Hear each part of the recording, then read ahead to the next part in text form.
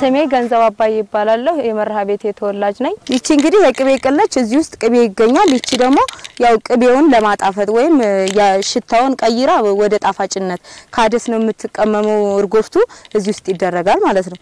ከዛ ይሄ አገልግል ነው። ያው በባህላችን መስታወት ወዘተ እንትን ይሄ እንዝርት ጥጥ ምናምን ተደርጎ ለሙሽሪቷ አብሮ የሚሄድ ነው ማለት ነው። ይሄ እንግዲህ ጥጥ ይባላል።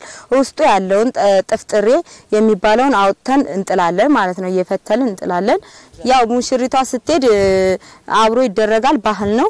አብሮ ይደረጋል። ከዛም በኋላ ያው ሙሽሮቹ ይሄ ከሌለ ያው የብዙ የመናቅ ባህሪ ይታይበታል። አብሮ እንዝርትና ጥጥ መኖር አለበት፣ የግዴታ ነው።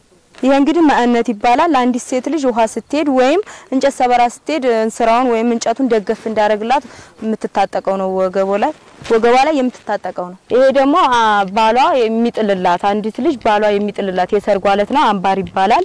አምባር እንግዲህ አንዲት ሴት ልጅ በባህላችን ስታገባ የምታገባው ባሏ የሚጥልላት ባህል ነው ማለት ነው። ይሄ ባህሉም አረንጓዴ ቀሚስ የምንለብሰው አብዛኛውን ጊዜ ለገና፣ ለጥምቀት፣ ለመታየት ወይም እጮኛ ለመፈለግ ማለት ነው።